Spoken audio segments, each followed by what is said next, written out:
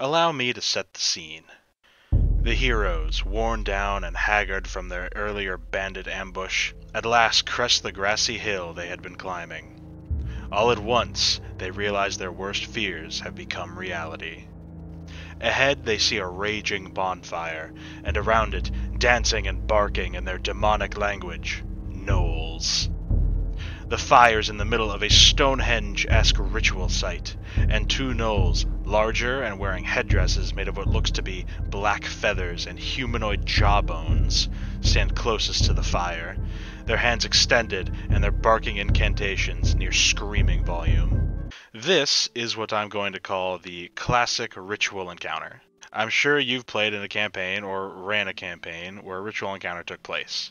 They're pretty common and can make for an interesting break from normal D&D combat. I myself have played through dozens of ritual encounters from various DMs and even ran a few myself. And unfortunately, I don't think any of those encounters were great. The basics of the ritual encounter are pretty easy to understand and implement. The heroes see that some sort of ritual is taking place and must stop it before it is completed or something very bad happens. Let's use the little example I just went through. The party gets to the top of the hill and sees a bunch of gnolls obviously performing some kind of ritual. We have three core pieces to this encounter. One of those pieces is the party, the heroes, who have identified those gnolls are up to something and must now fight to stop it. The second piece are all the gnolls who aren't active key members of the ritual. These gnolls I'll call the defenders, as they are going to fight the heroes to make sure the ritual is not interrupted. The final piece is those two big gnolls with the fancy hats actually leading and performing the ritual.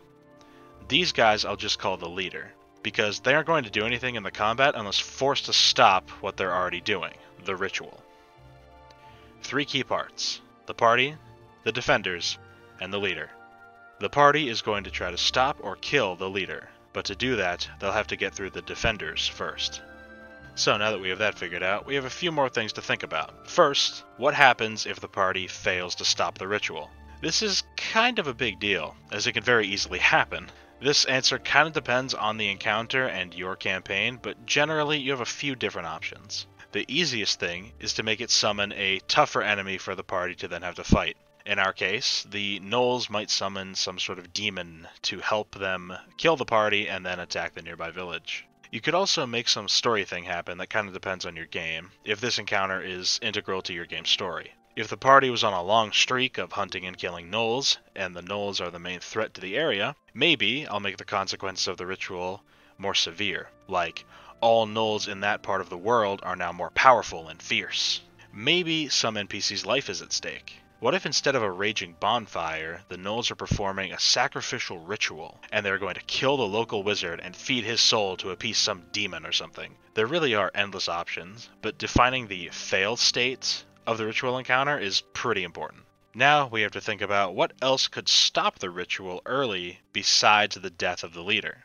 If the thing they're performing the ritual on is a great big bonfire, a player may see this and cast a water spell on it to try to put it out. Does that work? If not, how can you make that obvious so that the player doesn't waste a turn and a spell slot trying to come up with a clever solution? You can describe the fire as blazing hot, so hot that you can feel the heat from a hundred feet away, and everything around it should vaporize. Far too hot to stand next to, and yet the gnolls scream and bark and dance, the fangs of Yeenoghu practically in the fire themselves, sweating and chanting, but somehow, some way, not burning just yet. Some players can be really clever and come up with all sorts of weird ways to stop your ritual without killing the leader. Generally, unless I thought I made it clear that something wouldn't work, I allow my players' weird ideas to work. It sets a good example that, hey, not everything has to be a straightforward fight.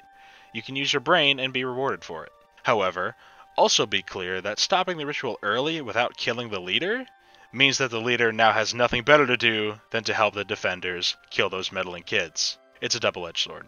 Finally, the most important part of the ritual encounter.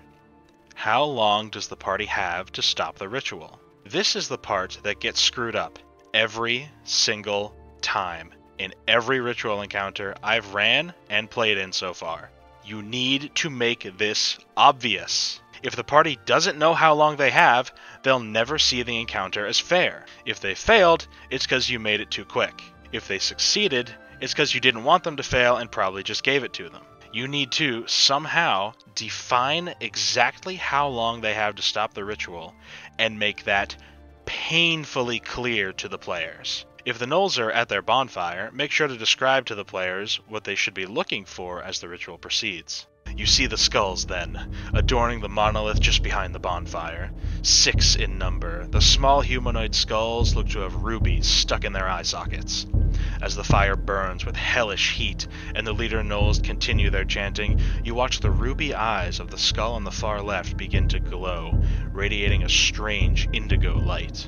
And then next round, you say, Your eyes are drawn to the second skull from the left adorning the monolith behind the raging fire, and watch as its ruby eyes begin to take on the same strange glow as the skull beside it. Watching it for a moment, you see the process begins again for the third, though the gems are still mostly dim for now. This is a very obvious sort of progress bar for the ritual. Once all those skulls light up, bad things happen, and the players understand that. Of course, you can and should still give it some wiggle room. Maybe the first skull doesn't light up until the second round. Maybe after all skulls are lit, it still takes an additional round for bad things to happen. The timing of the ritual should mostly be based on how tough the defenders are and how many other obvious options the players have for stopping the ritual early without having to go through the defenders and leaders.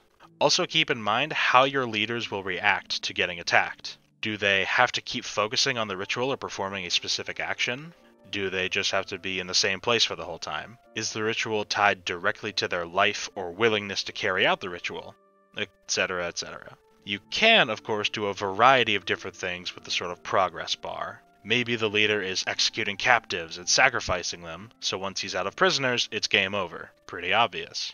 Maybe blood or molten rock is filling up the grooves of some ancient artifact, and once it's filled, it's lights out. It could be anything, really, but it has to be obvious to the players and progress uniformly with time. Using this method also opens you up to not using it, if that makes sense. What I mean is that after you use this sort of standard procedure for your ritual encounters, your players will get used to the formula, and when that formula doesn't appear, they'll know that something's up. For instance, if the players arrive too late to the ritual site, maybe they took too many rests on their way there. They've arrived too late, and now there is no progress bar. You know, maybe the leader is active in the combat from the start there aren't as many defenders, or maybe there's more defenders. Something like that to shake up the formula, to communicate to the players this is no longer a standard ritual encounter. One final note about specifically the leaders of your ritual encounter. Be sure that the leader is directly tied to the success or failure of the ritual. If the players kill my two big gnolls, then the ritual should be over. If I made some other random gnoll that they were fighting go over and start chanting and doing the ritual, then what was the point of having the two big leaders? It's really cheap and kind of unfair. Make sure that the players can correctly identify the leader or leaders, and once those leaders are removed, that's it for the ritual. This whole topic reminded me of a particular ritual encounter from a few months ago in the current campaign I'm running that I may have to do a video on, but that's a whole nother topic for another time. So, this is my advice for ritual encounters in D&D, to ensure that they're mostly fun for everyone involved. I hope you enjoyed and maybe learned something, and I'll see you next time.